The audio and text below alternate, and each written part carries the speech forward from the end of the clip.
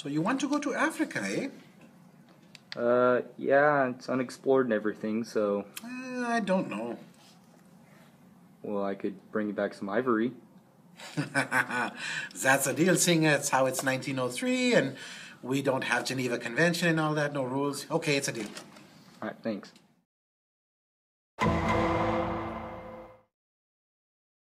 Alright, got my boat. Fresh out the dock. Spiffy. Uh, honestly, best money can buy.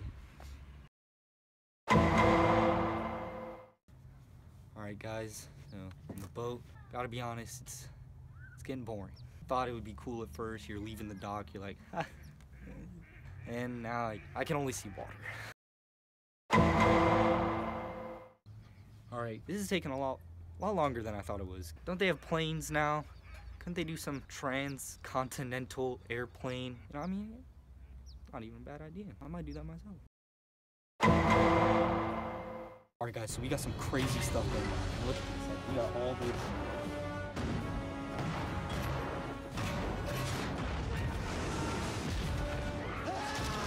They're just killing them!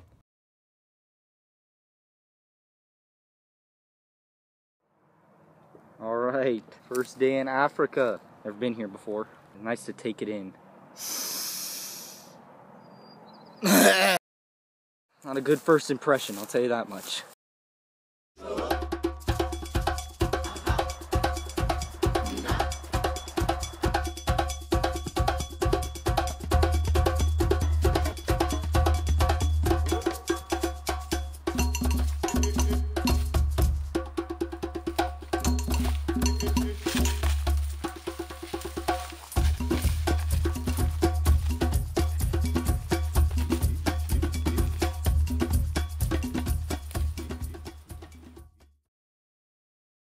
Booyala, booyala, mama, eh. You know, it's not even that hot. Thought it'd be a lot hotter. It's hot.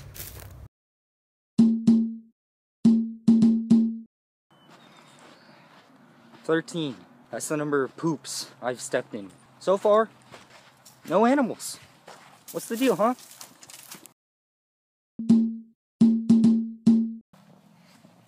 Nice.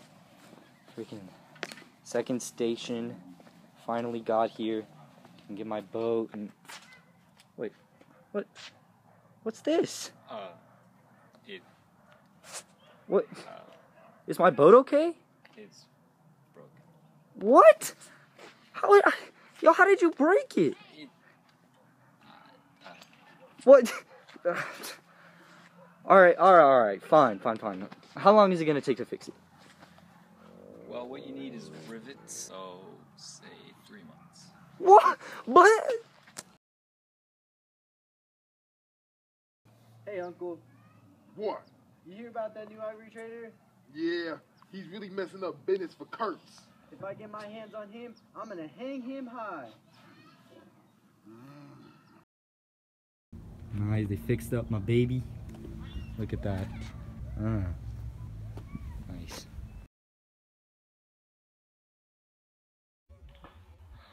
Country. This country has changed me, and for better, for worse, I don't know, but all I know is that I came looking for ivory, and now I feel something, something deeper, something different. Arlo again. Oh. I woke up this morning and oh, when the sun rose there was a there was white fog and it was very warm and clammy. It was more blinding than the sun. Did not shift or drive. It was just there. Standing all around like something solid.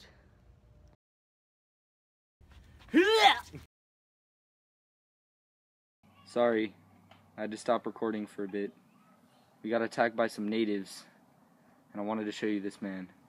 This man was my helmsman. He was killed by those natives. I used to think that if I died in an evil place, then my soul wouldn't be able to make it to heaven.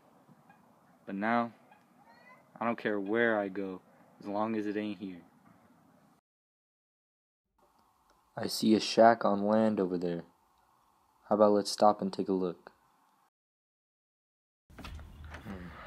Okay, so there was a sign on this pile of wood, and at first I couldn't tell what it said, but when I had it deciphered, it said, Wood for you.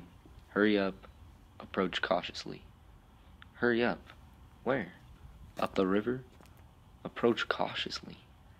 Thus far, we had not done so. When I entered the shack, I found this small book. Now, this book is very flimsy and very weathered, one can assume that I shall handle this with amazing antiquity and the greatest possible tenderness, lest it should dissolve in my hands. This book, just like everything in this country, so weathered.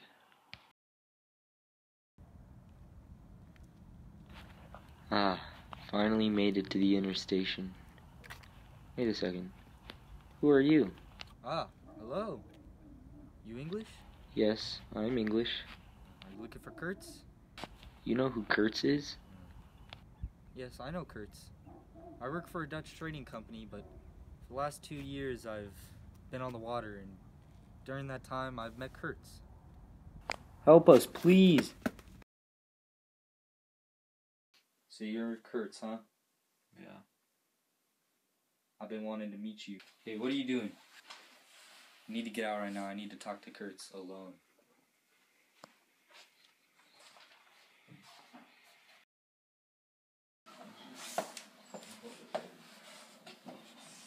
Hey, sorry to kick you out like that. It's just that man is crazy. Alright, we have a nice thing going in. he's just running it into the ground with his delusions of grandeur.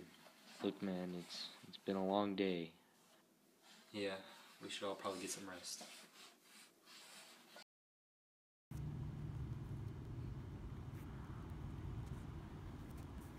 Is he? God, what, who the heck? What does he think he's doing?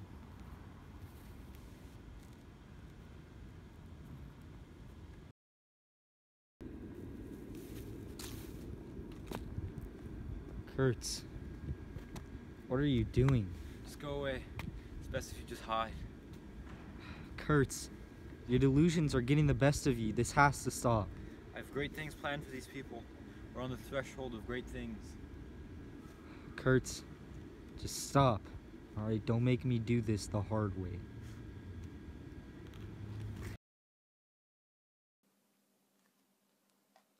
We're in Kurtz's cabin.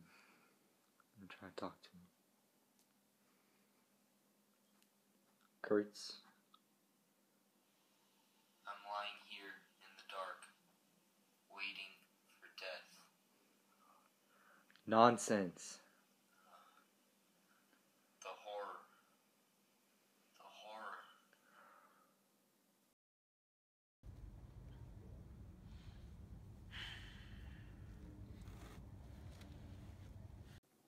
What is it, son? Mr. Kurtz is dead.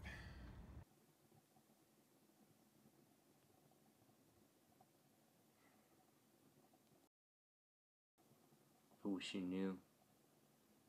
I wish you were there to see the last look that Kurtz gave me. His eyes were so hollow and yet so full of fear, just like many of the people who I saw on this trip. In fact, it's almost as if there are no eyes at all in this valley, in this valley of dying stars.